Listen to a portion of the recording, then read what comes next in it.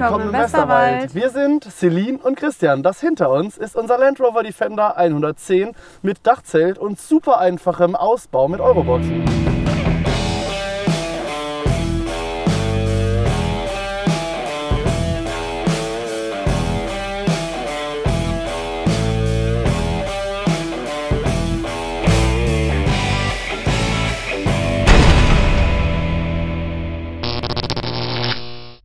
Wir zeigen euch jetzt mal unser Dachzelt. Da wir keine extra Leiter an unserem Heck haben, haben wir hier unsere Trittstufe angebaut, damit wir perfekt oben ans Dachzelt kommen, um die Riemen aufzumachen. Wenn wir hier den Reißverschluss nehmen,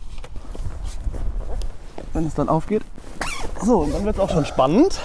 Dann müssen wir nämlich aufs Auto.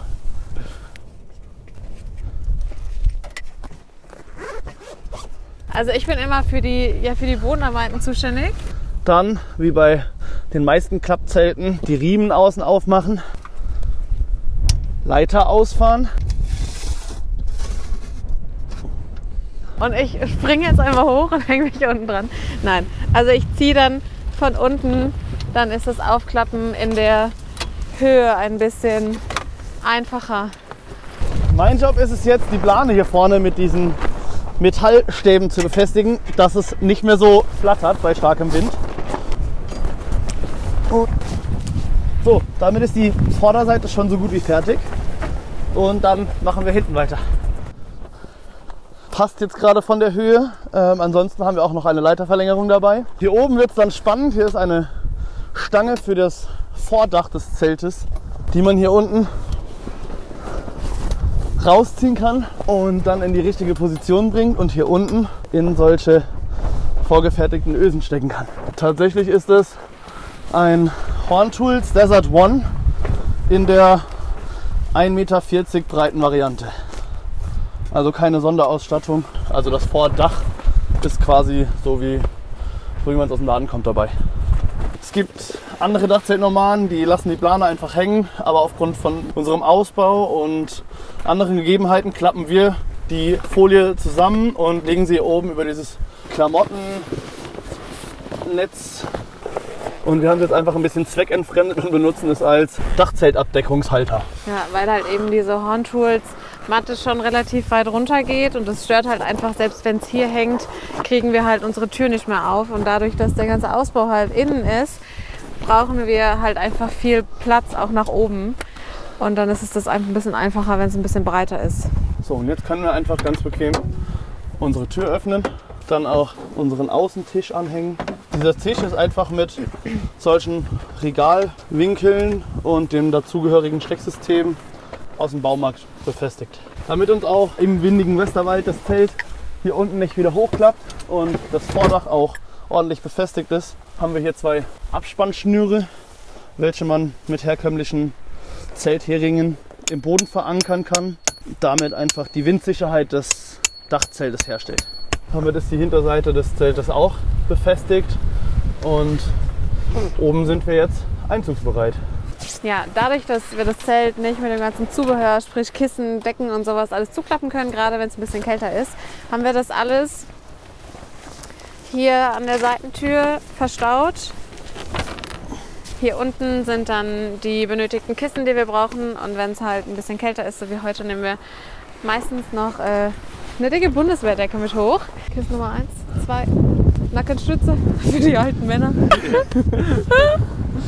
Und dann haben wir eigentlich alles oben, was wir brauchen, ne? Christian, sollen wir einmal bitte die, äh, die Leiterverlängerung dran machen? Sonst Kannst du machen, ja, dann hol die mal raus. Die Leiterverlängerung, genau, die haben wir einmal hier verstaut, weil das von der Höhe ganz, ganz gut gepasst hat. Das haben wir tatsächlich auch so gemacht, einfach, dass die nicht rumfliegt. Ist dann dasselbe System wie oben, ne? Einfach von unten in die zwei Laufschienen einführen, die Arretierung lösen und dann blockiert es. Hier haben wir von sehr netten anderen Dachzeltnomaden, die äh, dürfen sich jetzt gerne angesprochen fühlen, eine wunderbare Schuhtasche bekommen, weil mit solchen dreckigen Schuhen ins Dachzelt ist halt nicht so schön. Wie zu Hause Schuhe aus oder aus der, ne? Richtig, genau. So. Und dann Schuhe verstaut und wir können rein. Genau, auch einmal Schuhe aus. Willkommen in unserem Dachzelt. Wir haben hier einen wunderbar breiten, 1,40 Meter breiten Schlafsack, in dem wir bequem zu zweit liegen können. Auch bei kälteren Temperaturen kann man sich dann gegenseitig heizen. Einmal hier ringsrum haben wir für die späteren Stunden eine Lichterkette installiert. Wenn man dann nachts das Licht ausgemacht hat, geschlafen hat und am nächsten Morgen aufsteht, hat man auf beiden Seiten solche Fenster, die man quasi komplett aufmachen kann. Also auch nochmal mit Verdunkelung und extra Netz, damit keine Fliegen reinkommen. Und dann kann man wunderbar diese Aussicht genießen. Ich habe immer einen Schlafibeutel dabei, da kommen dann neue Sachen für den Tag mit rein und der wird dann einfach, da wir halt beide nicht so groß sind, dass wir vorne dran stoßen, wird er dann einfach in die Ecken gelegt oder Handy, Brille oder sowas wird dann meistens hier dran gehangen oder einfach in die Seitentaschen gelegt. Wir haben hier noch Bundeswehrdecken. Und wenn es dann mal wirklich kalt wird, können, die sind genauso breit wie der Schlafsack. Ja, Dann können wir sie einfach noch über den Schlafsack drüber legen. Ist eigentlich schon auch ohne Standheizung ziemlich warm hier oben. Aber ja, auch eine Standheizung haben wir an Bord, eine portable, die dann, wenn es wirklich ganz arg kalt wird, vors Zelt Ja. kommt mit einem Schlauch, der hier ins Zelt geht und dann haben wir es hier mollig warm. Die Dachzeltheizung zeigen wir euch dann einfach mal und dafür gehen wir einmal ums Auto nach vorne. Unsere Standheizung haben wir für die Fahrt und auch für den Sommer, wenn wir sie nicht brauchen, im Auto versteckt. Einfach weil sie dort für uns keinen Platz wegnimmt und dort am sichersten verstaut ist. So, die kann man einfach rausnehmen. Die ist genauso aus der, also mit der Kiste ähm, bestellt worden. Und dann kann man sie aufs Dach stellen, dann mal wieder nach oben gehen. Ja, und dann wird die einfach hier vors Zelt gestellt. Hier vorne der Wärmeschlauch wird einfach hier ins Dachzelt reingelegt. Der Reißverschluss wieder zugemacht. Über das Kabel und einen Stecker unten im, unter dem Fahrersitz direkt an die Batterie angeschlossen. Und dann wird es auch schon warm im Zelt. Zum Schlafen haben wir jetzt alles vorbereitet. Aber wenn wir uns tagsüber irgendwo aufhalten wollen und es regnet zum Beispiel oder die Sonne scheint extrem, dann haben wir hier eine Markise von Horn Tools. Die hat zwei Meter in der Länge und zwei Meter in der Breite. Und diese können wir einfach ausziehen. Und dafür haben wir hier unter der Markisenabdeckung einen Reißverschluss. Klickverschluss abmachen und dann einmal die Markise ausrollen. Jetzt ist die zweite Hand gefragt. Ja. Einer hält die Markise vorne fest. Dann haben wir Oh, hier bei hinten Wind ist das jetzt so sehr spannend, das Festhalten. Abstrebungsspannen, welche man einfach nur über so einen Schraubverschluss lösen kann. Und hier vorne in die Öse der, in der Markise Außenkante einmal reinsteckt und dann ist sie schon mehr oder weniger abgespannt. Dasselbe machen wir auf der anderen Seite. Festschrauben und dann ist die, das Dach der Markise auf Spannung. Damit, die, damit nicht die ganze Zeit jemand unter der Markise stehen muss, gibt es natürlich auch Stützen. Damit ist die Markise auch aufgebaut. Die ganzen Abstrebungen hier sind tatsächlich gut gegen Windgeflatter und Regenablagerung. Die kann man auf der anderen Seite auch festmachen. Also für die kleineren Leute, die können das dann ab der Mitte machen und die größeren dann halt hinten. Und für baldige Singles geht das auch bestimmt alleine. da gehe ich von aus. ähm, und damit wir, wenn es regnet oder die Sonne scheint, nicht die ganze Zeit hier stehen müssen, haben wir auf der anderen Seite unseres Autos auch Campingstühle und einen Campingtisch und den holen wir jetzt einfach mal raus. Auch das wieder ganz bequem in unserem Ausbau. Hinter der Beifahrerseite einmal die Stühle. Um den Tisch rauszubekommen, muss man hier ein bisschen durchgreifen und den Beifahrersitz ein bisschen nach vorne legen, damit man den Tisch hier einmal rausziehen kann.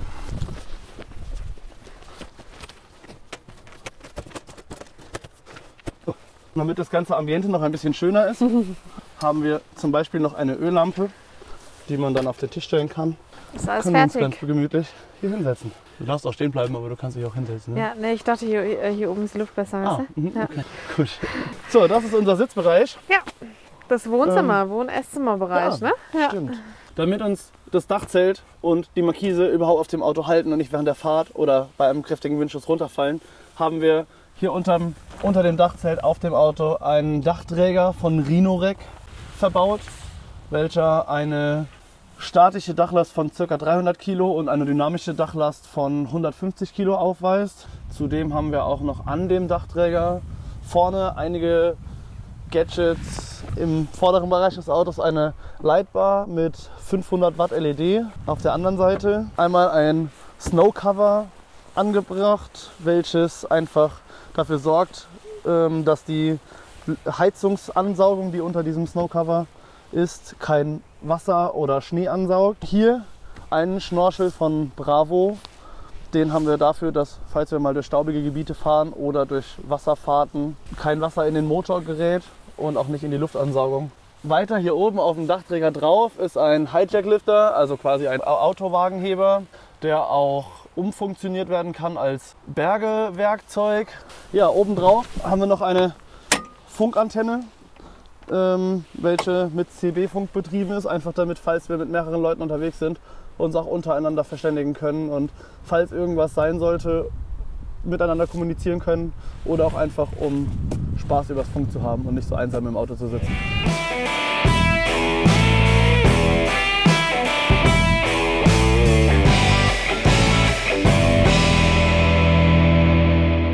Ab zur Außenküche und dann ins Innenleben. Okay. Und dann haben wir hier unten unseren Gaskocher drin versteckt. So, dann hier einmal ein etwas nicht so sauberer Gaskocher. Diesen Koffer kann man wunderbar als Windschutz nehmen, gerade wenn es ein bisschen windiger ist. Zum Beispiel einfach nur Wasser für einen warmen Tee für die Frau kochen. Das Brett ist aus Holland. Ähm, da hatten unsere Dachzeltnachbarn hatten das äh, unter der Leiter stehen, damit die nicht in den Schlamm einsinken. Und als sie gefahren sind, lag das Brett immer noch da und ich dachte mir so, das ist eigentlich voll das schöne Tischbrett. Ja, und dann habe ich mir das als Erinnerung an die Schlammschlacht in Holland mitgenommen und habe daraus unseren Tisch gebaut. Wir haben den Ausbau relativ simpel mit Euroboxen ähm, gestaltet und gebaut, also so ein bisschen Kasten- und Kistensystem. Wir haben einmal unsere Küchenbox, da ist auch alles gelabelt, damit man weiß, wo, wo was drin ist und nicht immer alles raussuchen muss sind dann so Sachen drin wie unsere Spülschüssel, verschiedene Töpfe, unten drunter Teller, Tassen, die, ähm, die Kaffeemaschine, also die Bialetti, äh, Handtücher und so ähnliches. Hinten hatte der Christian eben schon die Heringe rausgeholt. Da sind einfach ein paar Werkzeuge drin, die man braucht, wenn das Auto zum Beispiel stehen bleibt. Bei, bei einem Defender weiß man ja nie so genau. Die muss aber äh, der Christian rausholen. Die, die ist mir zu schwer tatsächlich. Hier hinten das berühmt-berüchtigte Werkzeug inklusive Bergematerialien, wie einen langen Schlupp, dass man sich wieder rausziehen kann oder abschleppen kann. Ähm, für den Landschaftsgärtner darf natürlich eine Astsäge und Astschere nicht fehlen. Dann haben wir noch hier hinten Lampenöl für unsere Öllampen und ja, was man halt alles so braucht. Unsere Heringe sind hier drin. Ähm, hier unten drunter ist noch anderes Werkzeug und ja, Cockpit-Tücher, falls man mal vorne ein bisschen viel Staub drin hatte. Ja, das war unsere Werkzeugkiste. Dann darfst du, glaube ich, den Rest wieder machen. Ja, also wir haben tatsächlich zwei Boxen für die Küche einfach und dann ist hier noch ein bisschen Geschirr drin, Zewa, äh, Kaffee ist noch drin, Tee ist noch drin, ein bisschen Besteck ist unten noch drin, Weingläser sind noch drin. ähm, genau, und einfach so ein bisschen Öl oder was man halt zum Kochen einfach so braucht, Salz, Pfeffer und so. Neben der Küche ist die Hygienebox. Hier ist einmal unsere Solardusche drin. Das ist einfach so ein schwarzer Sack, den legt man oben aufs Auto in die Sonne und dann heizt sich das relativ schnell auf, das Wasser. Handtücher, Toilettenpapier, genau, das war auch eigentlich schon alles, was da drin ist. Dann haben wir, wenn die Motorsäge nicht im Weg stehen würde, auch ein bisschen Platz uns, uns zu bewegen. Dann haben wir noch unsere sonstiges Box. Wir sind einfach so ein Lichterketten, noch eine andere Kappe und so weiter und so fort. Genau, und die Sportbox. Unsere Trinkbeutel sind da drin, Frisbee, Hängematte, Wurfring haben wir dabei und eine normale Frisbee. Wenn man ein bisschen mehr Spaß an ein bisschen mehr Action hat und ein bisschen schnellere äh, Frisbee, dann ist so ein, so ein Ring immer ganz super. Sitzschutz, also diese kleinen Sitzkissen sind da drin. Aber wir haben auch tendenziell immer alles dabei. Wir haben auch noch einen Volleyball dabei. Hier oben haben wir dann einfach unsere Hosen drin, warme Sachen, Schals, dicke Jogginghosen für abends oder so. Thermoleggings sind da drin für die kalten Tage, die Oberteile, T-Shirts und hier halt eben die dicken Jacken. Die Box ist jetzt natürlich ein bisschen voller in der Jahreszeit. Und damit die Boxen einfach so stehen bleiben, wie sie sind, ist hier überall noch so eine Schiene dass es genau hier unten eben hängen bleibt, dass während der Fahrt oder wenn man mal bremst, einfach nichts rumfliegt. Genau, und dann haben wir versucht, also die Küche ist noch von dem alten Ausbau, haben wir noch drinnen gelassen, die wird aber in der Höhe genauso wie äh, der Ausbau äh, noch verändert. Hier ist meine Kiste drin. Da sind dann ja einfach so ja so paar persönliche Gegenstände und so drin, die man dann halt einfach mitnimmt. Und dann haben wir hier äh, unsere Sockenkiste, auch hier wieder dieses Schienensystem, dass da eben nichts rausfallen kann. In der Apotheke ist sowas wie Ibuprofen drin, Iberogast und sowas, was man halt einfach als normale Hausapotheke mitnimmt. Haben wir einfach noch unsere Unterwäsche drin und noch unsere tägliche Hygienebox. Hier ist einfach sowas drin wie Zahnbürsten, Deo. Genau, und das, was wir halt am meisten brauchen, steht immer ganz vorne. Dann hatten wir hier hinten noch einen Spalt frei. Hier sind dann unsere Wanderrucksäcke angeschnallt. Bei der Gitarre genau dasselbe. Da haben wir einfach die Gurte, die noch drin waren, genutzt, um das einfach zu sichern. Und das war es auch eigentlich schon hier drin. Also alles relativ simpel, einfach aufgebaut, so dass man gut äh, an alles drankommt, dass man hier noch ein bisschen Platz hat reinzuklettern. Ganz vorne in der Mitte haben wir unsere Kühlbox stehen. Da bewahren wir sämtliche Lebensmittel auf, die halt kühl gelagert werden müssen. Man kommt eigentlich von überall dran. Ähm, von der einen Seite besser, von der anderen Seite nicht so gut, aber wir kommen eigentlich von überall dran. Man kommt auch von vorne vom Beifahrersitz aus dran, um während der Fahrt zum Beispiel ein kühles Getränk oder sonstige Sachen rauszuholen. Also das, was normalerweise noch hier steht, unser Frischwasserkanister, der hat vorne einen kleinen Hahn. Den stellen wir einfach immer in das Auto und dann macht man den Hahn einfach auf und dann kann man den noch ganz easy wieder auffüllen. Wenn wir mal länger unterwegs sind und wissen, okay, wir kommen halt nicht an Wasser dran, haben wir noch draußen äh, ja auch noch einen Frischwasserkanister. Der ist von, ähm, der von außen geschützt, sodass das Wasser von innen nicht irgendwie kippt oder so. Also das ist dann immer noch frisch. Davon haben wir noch einen und den kann man dann, wenn wir noch länger unterwegs sind, natürlich dann einfach noch da dran packen. Da gehen 20 Liter rein. Also haben wir im Auto immer um die 60 Liter von dem frischen Wasser. Ähm, auf der anderen Seite befindet sich dasselbe System, in der wir uns einfach dazu entschlossen haben, unsere Lebensmittel reinzupacken. Einmal in eine untere Box hier unten, die tatsächlich auch über den Sommer, wenn es draußen 40 Grad hat, relativ kühl bleibt hier unten drin. Hier oben dasselbe Spiel. Da ist jetzt tatsächlich äh, Schokolade drin. Das haben wir hier auf der Seite verstaut, einfach aus dem Grund, weil wir hier die Markise haben, weil wir hinterm Auto kochen und dann nicht immer wieder ums Auto laufen müssen, sondern einfach hier auch bei Regen unterm Dach trocken sind und einfach überall ans Auto drankommen. Haben wir alles auf einer Seite, alles im Trocknen. Also ich habe versucht bei unserem Ausbau einfach darauf zu achten, dass es kein sehr aufwendiger Ausbau ist. Einfach aus dem Grund, weil ich mir gedacht habe, es reicht, es einfach simpel zu machen.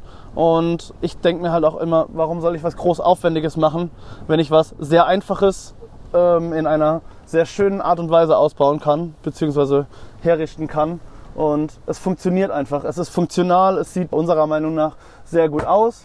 Und ich habe mir einfach gedacht, wenn wir das schon einfach machen, dann ähm, fangen wir auch jetzt nicht an, irgendwas zu streichen oder sowas, sondern lassen wir die Holzoptik.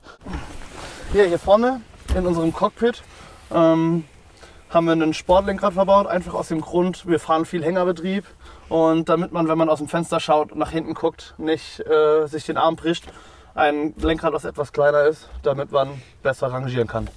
Hier vorne haben wir eine Magnet-Handyhalterung verbaut. Rechts daneben ein iPad für die bessere Navigation, weil es ist dann doch angenehmer, auf einem großen Bildschirm zu gucken, als auf so einem kleinen Handybildschirm und man lässt sich nicht so leicht ablenken. Hier unten dann das eben schon angedeutete CB-Funkmikrofon. Die Funkbox sitzt hier unten drin. Vielleicht haben wir noch irgendwas Besonderes hier vorne? Nee, eigentlich nicht, ne? Nee, eigentlich. Aber du kannst noch was zu deinen Fällen sagen. Das kannst du eigentlich machen. Also da die Sitze von dem Defender nicht äh, die mega bequemsten der Welt sind, haben wir uns gedacht, holen wir uns einfach so zwei äh, Fake-Fälle, die einfach auch im Winter ein, ja, ein bisschen wärmer sind. Und das hat halt einfach den Vorteil, dass man auch auf längere Autofahrten einfach ein bisschen bequemer sitzt. Es ist halt einfach ein bisschen, ein bisschen schöner und ein bisschen bequemer. Können wir das bitte rausschneiden und eigentlich nur den wahren Grund dieser Fälle erklären? Das hat einfach nur den Grund, dass wir keine Sitzheizung haben in diesem Auto. und dass einfach der Popo wärmer ist, ähm, haben wir uns irgendwann diese zwei Kunstfälle gekauft und die auf den Sitz gelegt, damit äh, hauptsächlich Celine äh, im Winter ich das so keinen schön kalten erklärt. Pommes bekommt. Ich habe das, ich hab das richtig schön gleich an mir richtig Mühe gegeben. Jetzt tut mir leid, du hast so einen Schluss geredet. Genau, und das war's auch eigentlich schon hier vorne, ne? Das Ansonsten hier haben wir nichts. Spezielles hier drin. Ist eigentlich alles so, wie es war. Ich habe mich so rausgeredet. Ja, Du hast es zerstört. richtig. Du hast es zerstört. Ja, wir sind mit dem Auto auf Reisen unterwegs. Ja. Kurztrips, auch teilweise längere Trips.